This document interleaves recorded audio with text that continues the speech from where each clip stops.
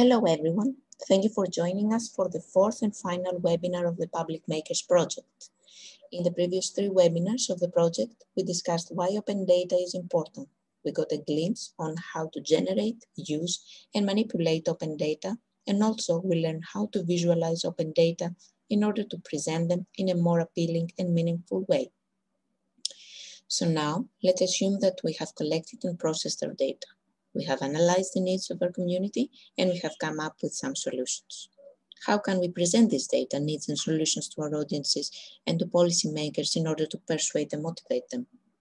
We believe that an effective way to do so is to organize an advocacy campaign on social media. So in this webinar, we are going to introduce you to a few social media storytelling techniques, as well as to a few tips and tricks that you need to keep in mind for your campaign to be successful starting with how to use social media for advocacy. Social media are a powerful tool to advocate for a cause, since they give us the opportunity to communicate information and points of view on specific subject matters and disseminate them further via our networks of friends and followers. However, providing information and arguments, as we say, the rational appeal, is not always enough to persuade other people to change their behavior, adopt new values, or take action. In fact, it is not even enough to attract their attention to our posts and read them. Triggering feelings, on the other hand, the emotional appeal, is also very essential in an advocacy campaign on social media. And this is the point in which storytelling enters the stage. We tend to associate storytelling with literary works. But stories aren't found only in books. Storytelling is everywhere. It appears in every form of communication, from daily conversations to academic research papers. Storytelling is the process of using facts and narratives to communicate specific messages to specific audiences, and it can take the form of textual and visual content, as well as the form of actions. In any case, one common characteristic of all forms of storytelling is that it empowers readers, listeners, or viewers to visualize vivid sensory elements of the story based on their own experiences and understandings. Storytelling has superpowers, as we say, and this is what makes it a suitable technique for advocacy. It might seem impossible to narrate a story with social media posts and tweets that are supposed to be short, but it isn't. We can create and communicate powerful stories on social media platforms regardless of their limitations by taking advantage of their options and functionalities, for example. And in the following pages, we will present you some ways to do storytelling using the four most popular social media platforms. These are Facebook, Instagram, Twitter, and YouTube. Let's start with Facebook storytelling techniques. Facebook doesn't limit the number of words in a post, so we can write an entire story. Sometimes, instead of summarizing a story or just mentioning some key points, it's better to write longer Facebook posts since they tend to grab people's attention. In your posts, you can include data you have found or generated to persuade your audience. Facebook also offers you the possibility to share pictures and short videos that are going to be available for 24 hours. This is the stories function Facebook. With this option, you may post a series of short videos or pictures telling your story. You can also create a Facebook photo album. Mm, this is another way to tell a story. And we can repost the whole album on the news feed whenever we add new photos to it and potentially share it with more people. In the second Public Makers webinar, we have given you an overview of how you could use applications such as Canva to make your own data visualizations, manipulate your photos, add text, numbers, and build your own story. So you could use that. Of course, you can shoot a long Facebook video. Sometimes a collection of photos might not be sufficient to tell the whole story we have in mind. In such cases, we can consider shooting a video since Facebook can host videos up to 240 minutes long. In addition, it is useful to know that the Facebook news feed algorithm prioritizes longer videos to engage viewers. Now let's move on with the Instagram storytelling techniques. You can create array, a narrative with an Instagram caption.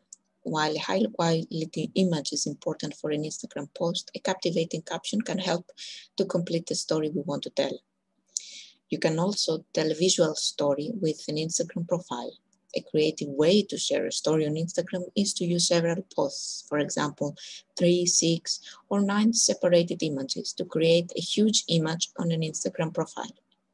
When done well, for example, with the use of gridmaker applications, this visual storytelling technique makes our Instagram profile look more enchanting and appealing to the viewers, and simultaneously helps us to tell a captivating story. We can also curate user-generated content by sharing short stories from our followers through photos on our Instagram profile. Another way to curate user-generated content is to create a hashtag for a story that we want to tell. Encourage our followers to post a photo with this hashtag and repost a few of the best ones. This visual storytelling technique can also help us grow our number of followers and get to know people from our community. You can also create a short video. Instagram videos can only be up to 60 seconds long, but it doesn't matter. Constraints always trigger creativity and great stories can be told in seconds. As long as we stick to the point, one use one screen captions to help the, narr the narrative and text captions to expand the story. You can also use stories on Instagram as you use on Facebook. There is no limit to the number of Instagram stories you can post a day. So you can share quite a bit of visual content. Now moving on to the Twitter storytelling techniques. You can do a tweet storm. Tweet storm is a practice of sharing a story or a train of thought that is longer than 140 characters through a series of tweets in quick succession. Usually, these tweets start and end with a number to indicate the sequence of the tweets and are unified by hashtag. Also, they can be stringed together by simply replying to the previous tweet. You can also create a Twitter moment. According to Twitter, Twitter moments are curated stories about what's happening around the world, powered by tweets. They're like tweet storms, but more beautiful and interactive. And Twitter provides actually instruction on how you can create and how you can find and interact with moments. Of course, you can use hashtags. Hashtags were created by Twitter. And these hashtags allow people to easily follow topics they're interested in. In addition, they can be used to tell and curate stories. We can create our own hashtag for the story we want to tell, but this doesn't mean that our hashtag has to go viral for our story to spread. It is enough for our followers to understand our message and purpose through the hashtag and use it in their own tweets. Of course, instead of creating our own hashtag, we can tap into a trending one to share our story. But again, it doesn't always have to be a popular hashtag. The most important thing is for the hashtag to be relevant and appropriate for our story. Twitter also provides tips and help with hashtags as well. Last but not least, we have the YouTube storytelling. You can create a YouTube channel or a playlist. Videos capture people's attention more than text and images and they are the type of content that most people consume thoroughly. In order to tell stories, we can create a series of videos about whether whatever theme or subject we consider as interested for our viewers, or a series of video interviews with people from our community, sharing their stories and experiences. If you have also design skills, you may include animated videos as well. The videos don't need to be too long, but they need to be of good quality. For the last part, we have some tips and tricks, things to consider before and during the advocacy campaign. Social media have been around for quite some time now, and the majority of people know how to use them. After all, they are meant to be user-friendly. But organizing a social media advocacy campaign with the use of storytelling techniques is a much broader process than the updating of social media profile or page. So before and during an advocacy campaign, we need to consider a few things. First of all, the time and purpose of the campaign. The first thing we need to think of and decide is the kind of campaign we are going to organize. For example, it, is it going to be a one-time or a recurring event, an ongoing fan page or a specific closed group? Facebook provides all these options, but this is not the case with the rest of the social media platforms.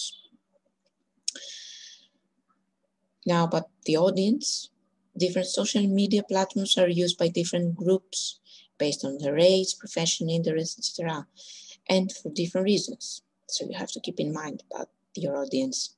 This also changes in different countries and cultures as well. So before deciding which social media platform to use, we need to consider the audience we want to reach the most via our campaign and try to understand them. And the best way to do is by identifying specific social media user personas.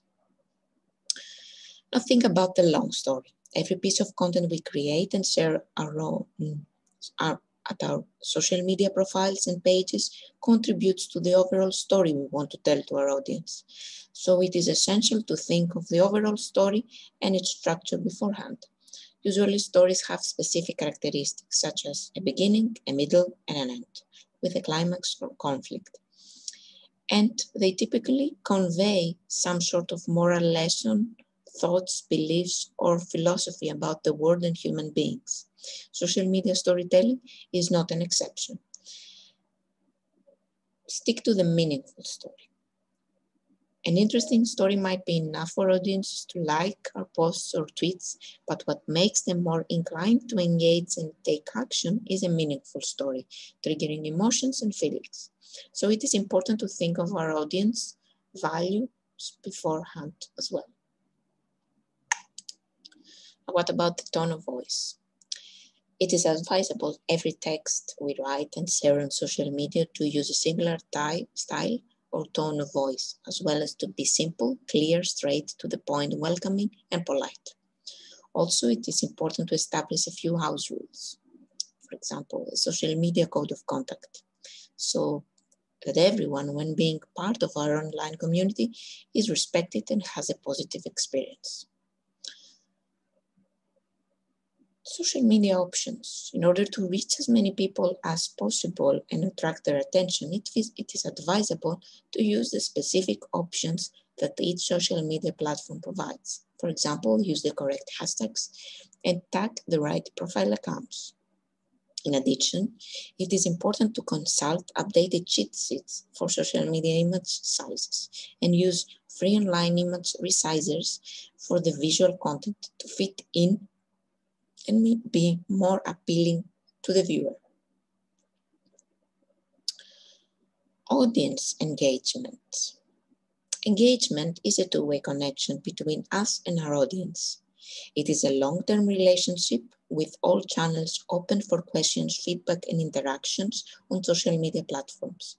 Audience engagement starts with the content we publish since it is the first thing that grabs people's attention and triggers them to interact with it in the form of follows, likes, and shares, and continues with one-to-one -one interactions in the form of comments, replies, and messages, and user-generated content. This second part of audience engagement weighs more, since it makes more time, takes more time and effort to happen, and gives us the opportunity to understand our audience and the impact of our campaign better. This is why it is important for us to dedicate some time in order to actively listen and respond to our audience and provide opportunities for more interaction, for example, by sparking discussions with questions or by encouraging participation and content creation with calls to action. Try to use the tools by for social media platforms. On social media, being regular and maintaining a consistent voice is essential for any of our campaign to be impactful. Also, it is important to measure social media engagement in order to get to know our audience better.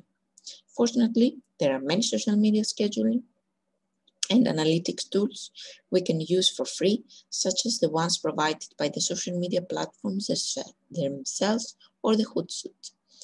Here we have listed some links that you could go through and check these possibilities. And just with a closing remark, we would like to say that in the digital realm, the wealth of information creates the scarcity of attention. So one of the biggest challenges online is to grab people's attention. We hope that you enjoyed our presentation.